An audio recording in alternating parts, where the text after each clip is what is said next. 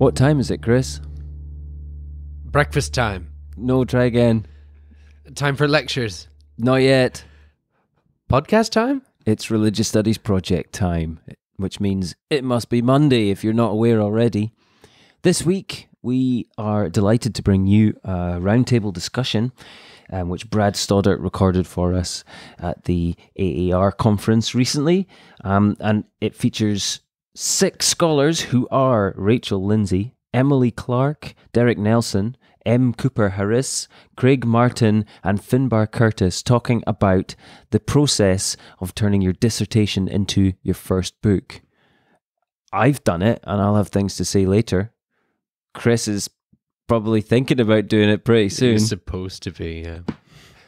But first, let's hand over to Brad. Hello, this is Brad Stoddard with the Religious Studies Project. Today's podcast features a roundtable discussion with six scholars who address the dissertation to first book process. In addition to introducing their projects, they answer several questions to help graduate students or early career scholars who are either thinking about the dissertation to book process or who maybe are somewhere in the process themselves. Let's start by putting some voices to the names. Will each scholar please introduce yourself and the topic you address in your first book? I'm Rachel Lindsey. I teach at St. Louis University, and my project is A Communion of Shadows Religion and Photography in 19th Century America. Yes, my name is Cooper Harris. I am an assistant professor in the Department of Religious Studies at Indiana University. And my uh, dissertation book is, is now called Ralph Ellison's Invisible Theology. Uh, some version of that has, I think, remained within the title all along. It's, it's had some other versions. Uh, but Ralph Ellison's Invisible Theology. Uh, my name is uh, Craig Martin. I'm an associate professor of religious studies at St. Thomas Aquinas College, which is a small liberal arts school outside New York City. Um, my first book was Masking Hegemony, a genealogy of a genealogy of religion, liberalism, in the private sphere, or liberalism, religion, and the private. I for, always forget the order, but masking hegemony is what I usually refer to it as. I'm Derek Nelson. I teach religion at Wabash College, and my first book was called What's Wrong with Sin. My name is Emily Suzanne Clark. I'm an assistant professor of religious studies at Gonzaga University. I got my PhD uh, from Florida State University um, in spring of 2014. Um, and my book is A Luminous Brotherhood Afro Creole Spiritualism in 19th Century New Orleans. I'm Finbarr Curtis. I'm an assistant professor at Georgia Southern University. Um, and the book project is the production of um, American Religious Freedom, which is borrows from, but is not exactly based on my dissertation, which was called Speaking of the Nation William Jennings Bryan, Al Smith, and the Idioms of American Populism. Thank you. How would you describe the process of transforming your dissertation into your first book? Um, long. uh, it's taken me a little bit longer than it has um, some other people. Uh, so it's taken me about four years to get it from the defended dissertation um, into uh, book production. Uh, part of that is because I um, switched jobs a couple of times, um, but also because um, you know the scholarship on visual studies and material cultures of religion um, has grown so much in the last four years. Um, so I really wanted to take a chance of to to engage that material. Um, uh, the process um, essentially went um, uh, from defending the dissertation to a period of dormancy uh, for about a year, um, and then I uh, shopped the proposal to a couple of presses um, and uh, had really good traction with UNC, and that's where I landed the the contract um, two years ago. Um, and Elaine Maisner, my editor, has been very helpful in um, uh, shaping the final product product from um, a fairly limited scope dissertation into a much broader cultural history of photography in the 19th century.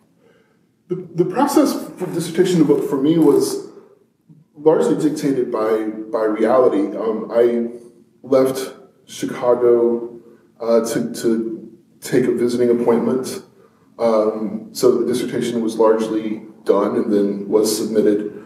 Uh, but I was still looking for a tenure track job, and one of the things I wanted to be careful of first away, first off, is not to. Uh, I didn't want to get too far beyond the, the dissertation. I wanted to have a book to bring into hopefully a tenure track job, uh, and so I, I, tried to keep. I, I began working on the revision process and I was constantly revising. And then I, I, had a postdoc at the University of Pittsburgh, and again was uh, was revising and trying to keep it right at the place where I could say it's basically done to go. But as a, as a matter of as a pragmatic matter, I tried to to uh, I, I, did not immediately go seeking uh, a publisher. Um, I I tried to hold back. Now, had I gone on much longer, I probably would have gone ahead and, and submitted, but. Uh, it was about a four-year process for me, sort of between uh, degree and and entering a tenure track job. And so, what I found, fortunately, and I was just describing this to a grad student the other day. What I found, fortunately, was once I entered into the actual uh, job itself, is I basically had it ready to go out. So my dissertation had a lot of material that I cut from the book in part because a lot of the material in the dissertation was designed for me to respond to the specific, somewhat idiosyncratic requests of the the uh, uh, uh, my committee. Not idiosyncratic in a bad way, but they wanted to push me on some things that they wanted me to demonstrate my knowledge. But those things just didn't need to go into the book. Also, who needs 100 pages on John Rawls? um, so uh, when I finished my dissertation, I had recommendations for for how to improve it, and I had sent out a couple of the chapters as independent articles, and one of the most substantial revisions was actually from. Uh, I got a revise and resubmit saying you should do all these things to this article, and uh, it ended up being rejected, but I actually, uh, those were some of the most substantial revisions to that chapter based on the journal editor's requests. Um, so I cut material, I substantially revised that, and I, I think the, the biggest change was revising the introduction and conclusion to frame the book in a different way. So that the way that I framed it when I wrote my prospectus was to ask a certain type of question about the material. But then when I turned it into a book, I had a kind of different question because my after the research, some clarity came about, and I realized it was a different question I wanted to ask about the same material. And the chapters remained mostly the same, but I framed it differently. So it it uh, with, you know with the different frame, it's a different book. So I, I think yeah, cutting, adding uh, historical detail of substance, and then changing the frame and the intro to conclusion were the main main changes that I made to the book. I was very sick of my dissertation by the time I got to the end of the process, and so I just let it sit for a while. I debated rewriting from scratch uh, for a wider audience than the four people whom I uh, wrote the dissertation for. Um, I started to think of publishing some of the chapters as articles or spin offs but then ended up sending it to a German press um, for the kind of rigorous, substantive thing. Uh, but then I realized that they most of their books were 250 bucks a piece, and they wanted uh, more revision than I was willing to put in, and so I went with uh, a press that I realized appeared in my footnotes a lot, and thus had a lot of overlap with the kinds of things I was interested in and sent it to them, and they loved it. Yeah, well, my process is sort of a negative example of things not to do, which is, uh, although it might also be something that reflects even just the change over time. So when I was writing my dissertation in graduate school, dissertation was a place to experiment, think about new ideas, you know, um, and I was particularly interested in thinking about new ways of talking about populism. Um, and I had a set of social theories that were involved with that. Um, I, you know, my advisor was Kathy Albanese, who sort of disciplined me on history, or at least tried to. And um, and then I had Roger Friedland as a social theorist, and um, Giles Gunn as a literary critic, and Wade Clark Roof as a sociologist. And so I was really shooting for something interdisciplinary. And I really wasn't thinking in practical terms about how this was going to become a book. I was just kind of working through ideas and um, and so once I got out and hit the job market, um, I was publishing articles and I sort of was thinking about the book, but in my mind, and really in my advisor's mind, the process was you go through, you get your PhD, you get a job, and then you take five years, you know, three years and rework your dissertation into a book.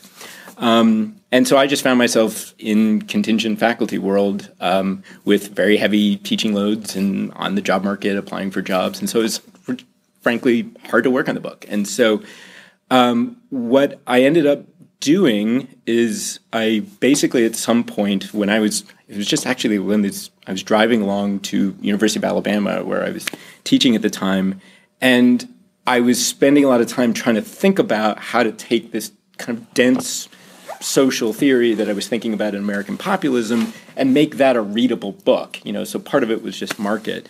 And at some point, I just said, "Screw it." You know, I'm I had written this piece on intelligent design that had to do with questions of freedom.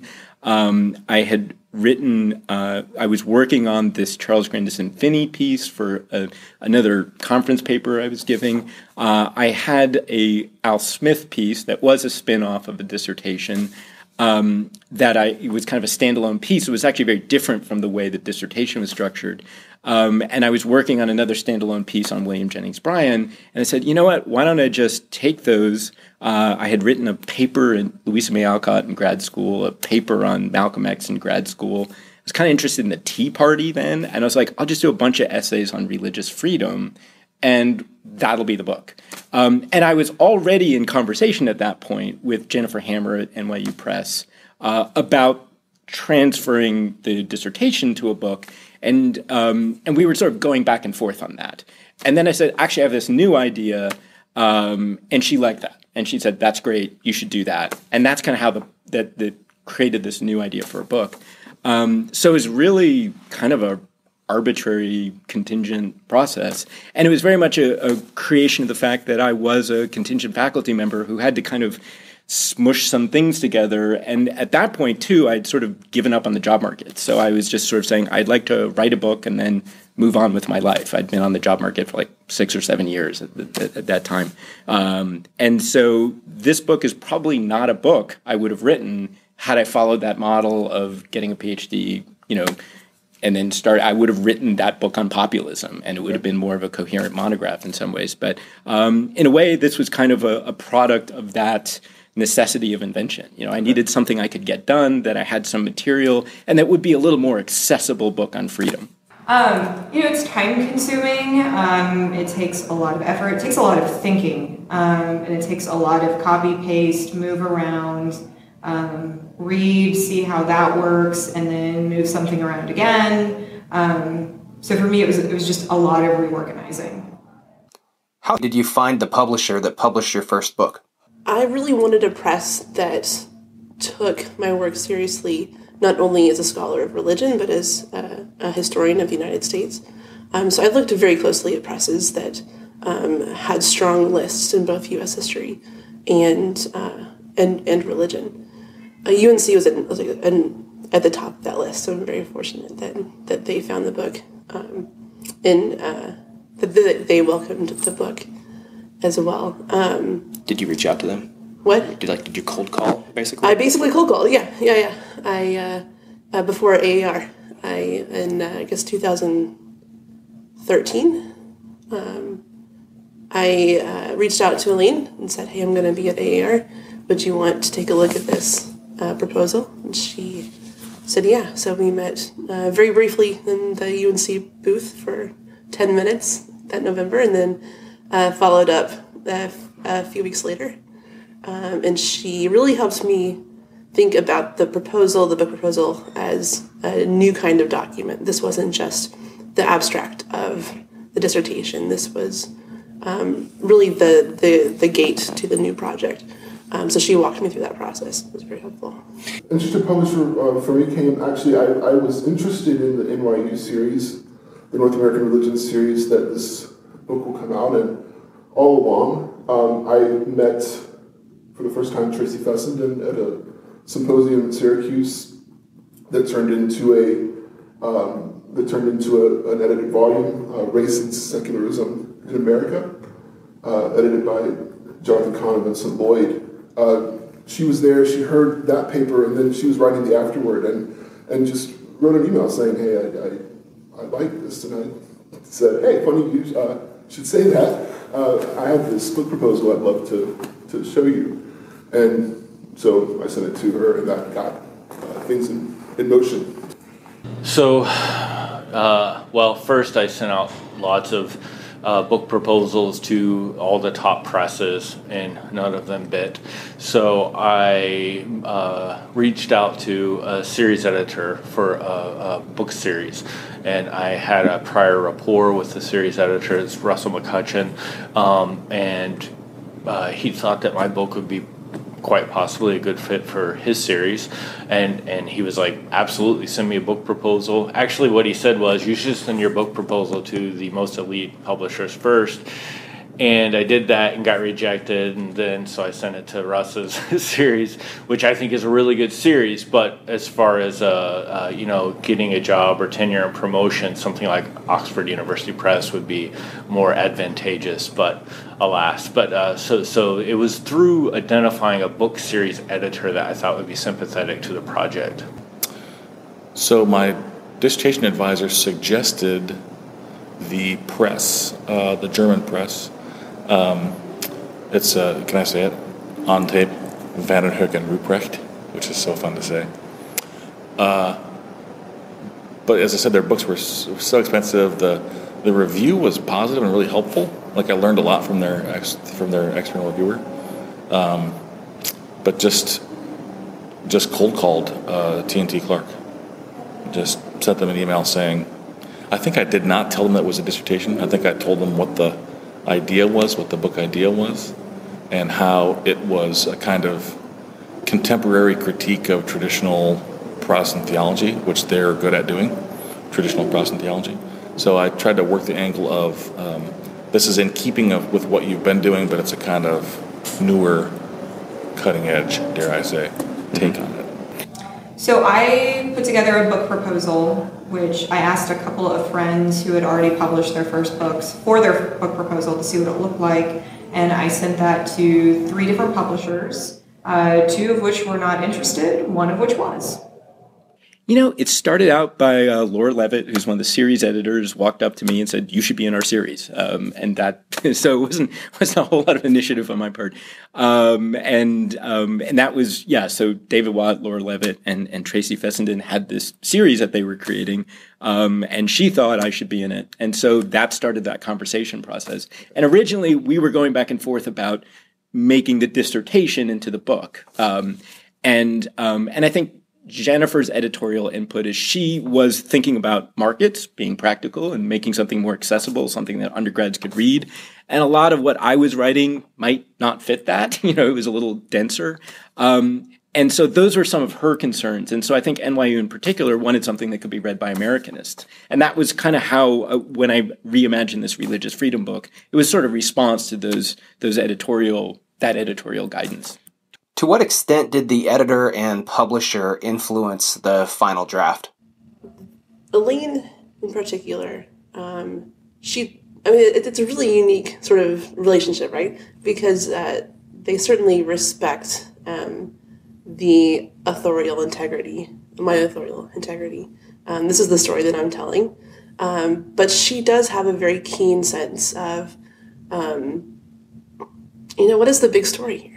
You know, you want to speak beyond, uh, you know, the, the people who are going to attend the conferences and listen to your, your 15 minute presentation. Um, so she was really helpful in um, helping me hone the, the so what question um, beyond sort of what does this mean for the study of religion into um, how is the communion of shadows really part of American history? Uh, and that had been there all along, sort of under the surface, and she really through through conversations with her, she really helped me bring that up into essentially the organizing thematic of the book.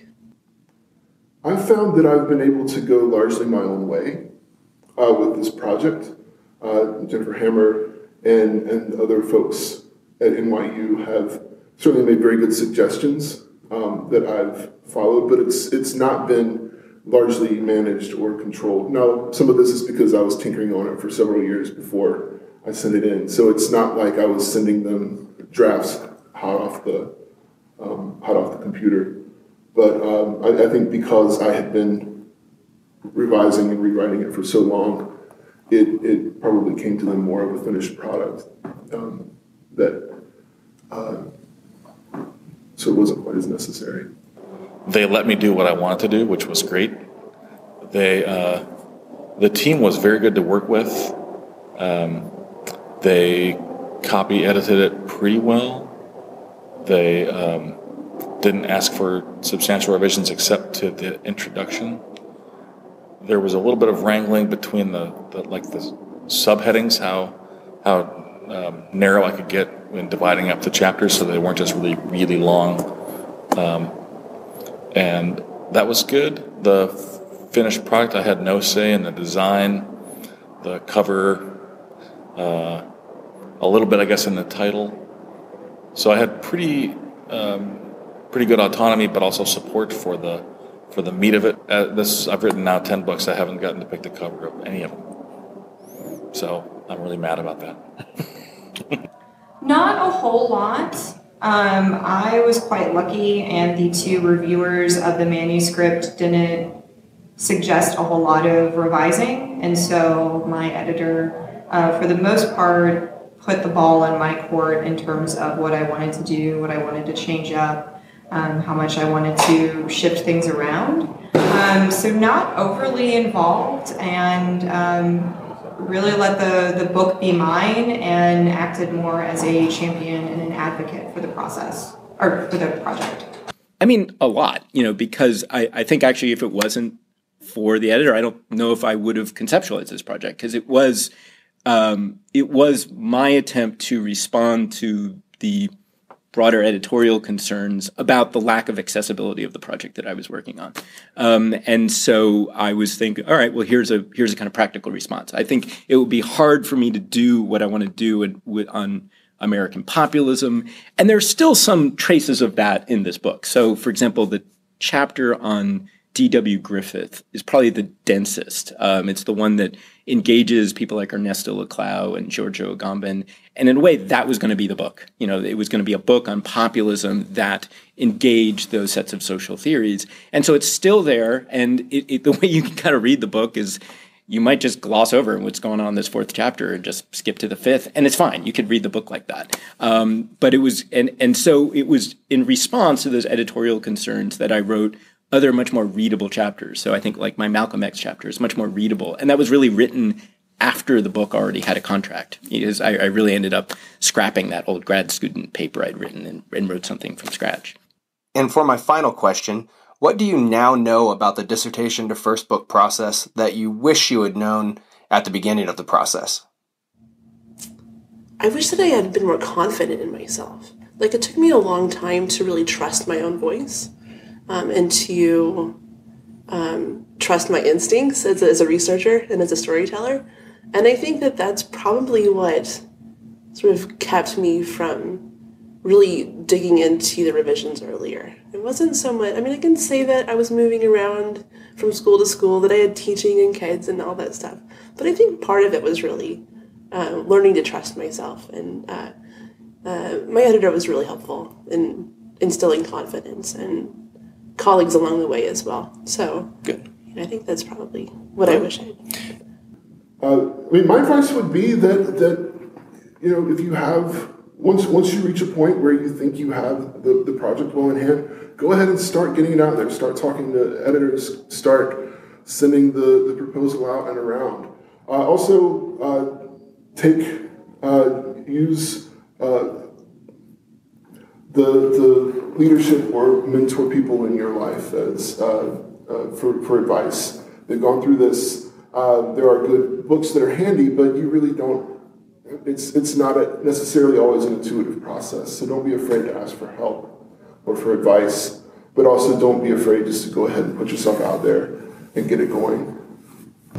I th- so I, and I guess I kind of knew this because somebody told me this when I was working on my dissertation. Somebody told me this is the hardest thing you'll do in your career um, because the expectations for peer reviewers from a press are less intrusive, perhaps, than the the people on your dissertation committee.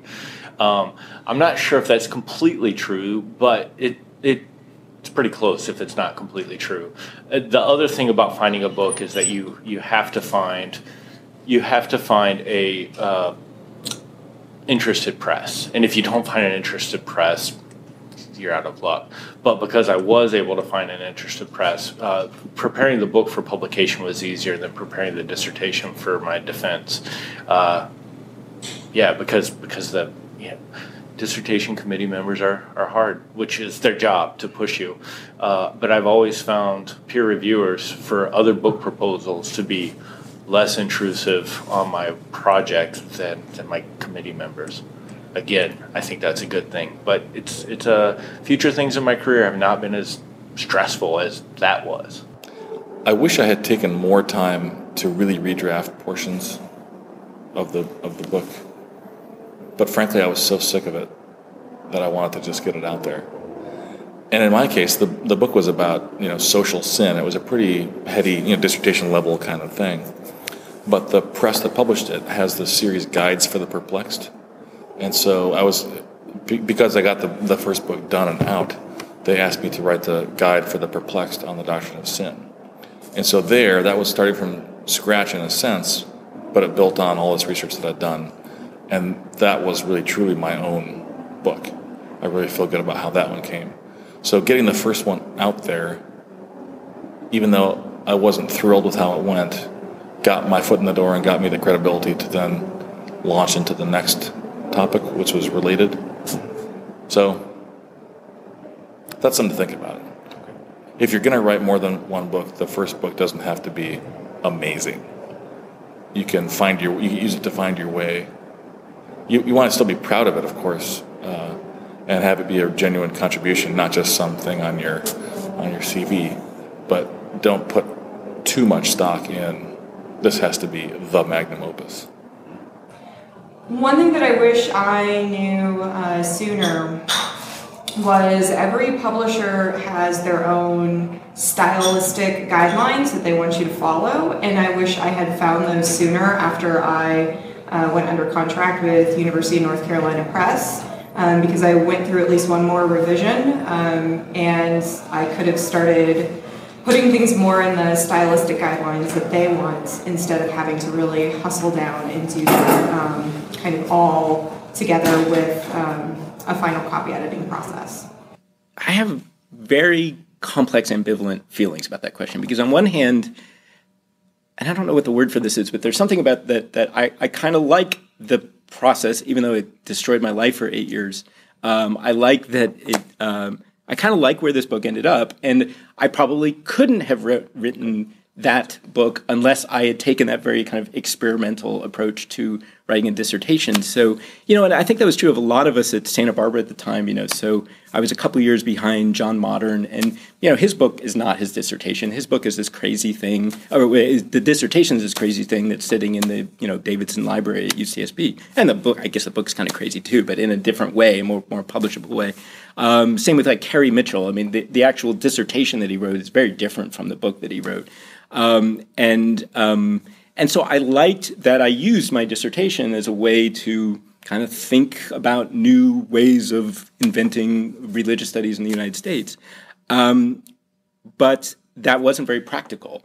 So I don't know what I would say. A lot of times, the, the advice that I would give about doing interesting things in academia is very different from the practical advice about how to get a job. So um, I would have had to be a very different person to take the advice I would give now, which is the more practical advice I think that anybody would give, which is, you know, be a little more modest and realistic about what you can accomplish, um, and think about a book market. But I just didn't think about that at all. I just thought about the stuff that I was interested in. So the advice I would give is just don't talk to Finbarr Curtis. He has no idea, and he can't really give you any meaningful guidance about how to actually navigate the the book market. Just talk to other people. And with that, we'll go ahead and end this discussion. First and foremost, thanks to everyone who participated, and we hope the listeners learned something about the important dissertation to first book process. Thanks. Thanks very much for that entertaining and informative discussion, everyone. Um, yes, as we were saying beforehand, this is something very much weighing on my mind at the moment the sort of pressure of how quickly do you need to do it and how does one do it when you've not really got very much spare time. Um, so yes, that was very useful, and I'll certainly be returning to that podcast mm. in six months. Yeah, when I'm actually thinking properly about. It. It's actually it's a very serious issue. You, the um, it's probably the time in your career that you have the most time, but in fact, you're actually probably working part-time job or some sort of you know low-paid kind of research assistant or uh, you know like we do tutoring which is um, a lot more work than what you're actually paid for mm-hmm. um, and so whilst the pressure is on you to publish or perish um, and it seems like you've got all this time and this body of research to turn into books. Um, the reality of it is is not that simple. Exactly, and and then if you are lucky enough to get a, a position um, and you know start on a, a postdoc research project or a, a, lectureship or something, once you've started that, where's the time to be working on this monograph? You know, you're going to be having to work on the next thing, so it could quite yeah. easily fall by the wayside. And attention, of course, if you start a new research project, um, your head and your heart are going to be with that one rather than mm-hmm. revisiting mm-hmm. stuff that you've already killed yourself for four years with. Yeah. So really grateful to have had that discussion on here. Um, how did you find it, David? What was your process? Um, my process was to have thought about it being a book from the day I started writing it, um, and it was commented upon at the time that it read more like a book than um, some other people's thesis did. Mm. but that's I would like to say that that was me being sort of headstrong and willful, but I'll put it down just to laziness. I don't think laziness is something that um, could be could be thrown at you. Um, so um, we're fully in the swing of things here. We've got a whole host of uh, interviews recorded at the moment. They're flying in thick and fast, which is really exciting. Um, but next week, um, we've got an interview conducted by our very own Kritika Bhattacharjee, or Bhattacharjee, or how many different pronunciations we're, ju- we're just saying Kritika B. Kritika B. Bhattacharjee. Um, next week, and she's been speaking with Christopher Harding on religion and the psy disciplines. Um, so, you know, we get a lot of certainly um, psychology of religion um, podcasts on the RSP. So, this will be uh, an interesting, um, sort of more meta approach to psy disciplines in general. Psi.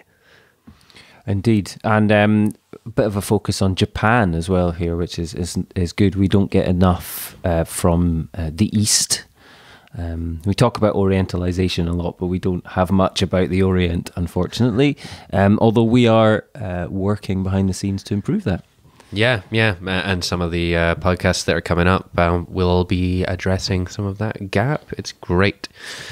Um, and uh, I know that David and I are going to be at an event. Um, ooh, when is it? In June? In June. Um, yes. um, when there's hopefully going to be an opportunity to get quite a few more podcasts that'll again address that uh, that gap.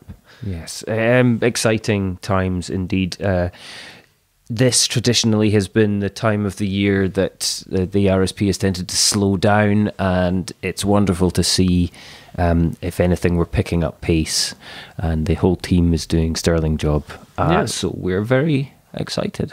So come back um, next week for that podcast, and as ever, in between times, you can check out our Facebook page, Twitter, Google Plus, YouTube.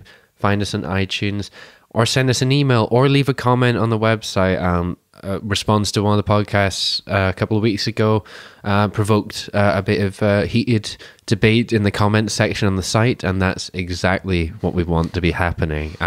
If you if you react positively, negatively, indifferently, let us know. Start the debate. We like to think of ourselves as the, the virtual seminar room. I think so.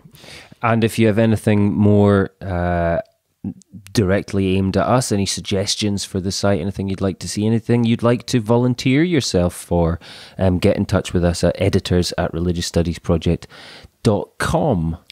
But for now, thanks so much for listening.